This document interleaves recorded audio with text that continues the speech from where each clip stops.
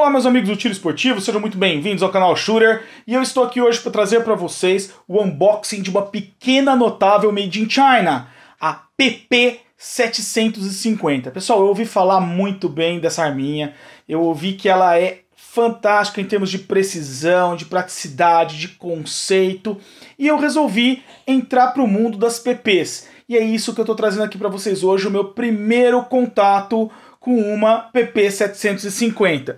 Eu vou abrir aqui com vocês, então é aquele papo de sempre dos nossos unboxing, tá, gente? Eu nunca vi, vai ser o primeiro contato, não sei como ela veio, tô tirando aqui a, a notinha, né? Bom a gente já tirar. É, vou abrir aqui a arma, vou tentar tirar aqui para vocês verem com bastante calma.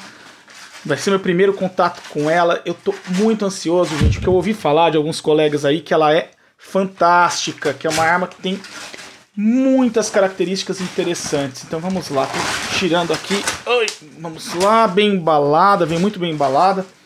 Deixa eu tirar esse plástico aqui também. Vamos lá, o plástico bolha que está impedindo de estragar, né? Na caixinha lacrada. Gente, essa arminha, quem tem usado ela tem falado que ela é fantástica porque ela é muito versátil. Então ela apresenta uma boa precisão e uma versatilidade incrível, tá? Em termos de é, usos, né, possíveis. Ela é uma pistola combinada com carabina, enfim, é, um, é uma PCP muito, muito, muito bem concebida pelos chineses, tá? Então tô tentando abrir aqui. Vamos lá, PP750 para vocês, nosso primeiro contato com ela.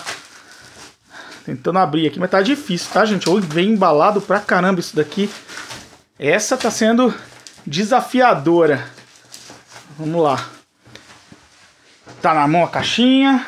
Então essa é a caixinha da famosa PP 750.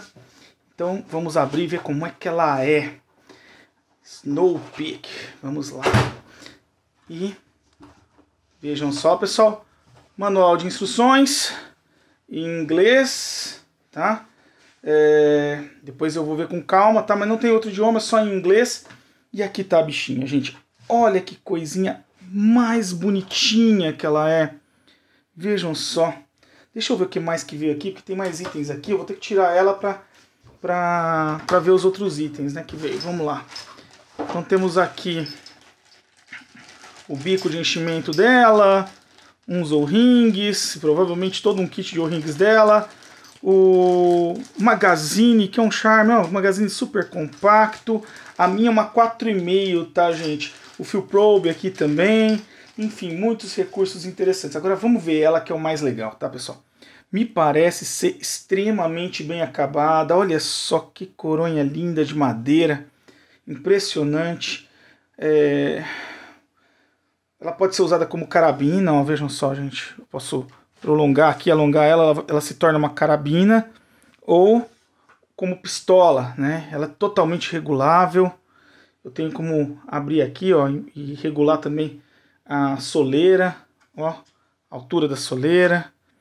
Enfim, é muito bem feitinha, pessoal. Nossa, eu tô, eu tô realmente impressionado. Não me parece um item chinês, sabe, gente? O suportezinho aqui para colocar a luneta o manômetro aqui na frente, o bico de enchimento dela, ó, interessante, é de é, tem a tampa rotativa, né, que é um, um clássico aí também para ajudar a proteger, um sobrecano bem interessante, o acabamento realmente é muito bom, bem diferenciado mesmo, bem diferente do que eu tô acostumado a ver em armas chinesas, tá, gente? Delas, eu achei o acabamento realmente muito bom dessa, dessa arminha. A mira aqui me parece que ela não tem regulagem é, horizontal, somente vertical, né, na alça de mira, o que seria uma grande pena. Depois eu vou ver com calma, tá? Aqui, ó, para armar. Muito interessante. Ela vem com monoshot, aqui tá, ela tá com monoshot. Depois eu posso usar o, maga, o magazine se eu quiser também. No review eu vou mostrar para vocês com detalhes, tá? Esse equipamento para vocês terem uma noção de como ela é, tá? De que são as características dela, como é que a gente faz para trabalhar essa arminha. Mas ó, Bem interessante, tá, pessoal? Gostei bastante até agora desse nosso primeiro contato com ela. Enfim, ó, trava, muito bem travadinho. É muito interessante mesmo. Gostei, pessoal. E aí, o que, que, vocês acharam? dela, tá? Falem para mim aí nos comentários, comentem com a gente, contem pra gente o que vocês acharam da PP 750. O meu primeiro contato com ela foi realmente bem impressionante. Eu tô bem é, empolgado para experimentar essa arma aqui e contar para vocês como é que ela é, como é que ela se comporta em nosso review. Vai ser um review completaço, naquele padrão que vocês já estão acostumados.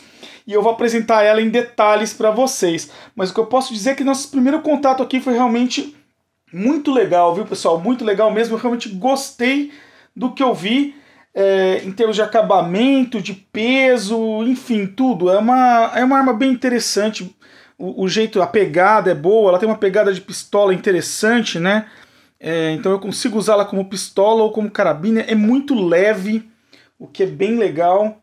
Enfim, pessoal, parece ser bem promissor mesmo. E o mais interessante é que me falaram que ela é muito versátil, que eu posso utilizá-la aí é, e customizá-la muito bem, que ela dá uma customização muito boa, tem muito potencial, igual a PP700. Então tem muita flexibilidade para fazer muita coisa em cima dela e conseguir muita performance. Mas no review eu vou contar mais para vocês. Então se vocês querem saber mais sobre a PP750, deixem aí embaixo nos comentários o que vocês estão querendo saber, que eu tento trazer para vocês aí no review. E se inscrevam no canal também, não percam a oportunidade de se inscrever, porque aí você vai receber em primeira mão quando eu trouxer essa arma aqui para vocês nos mínimos detalhes no nosso review no padrão shooter de qualidade. É isso aí, pessoal. Eu vou ficando por aqui. Não deixem de curtir o vídeo, não deixem de se inscrever no canal. Eu vejo vocês no próximo vídeo. Um grande abraço a todos.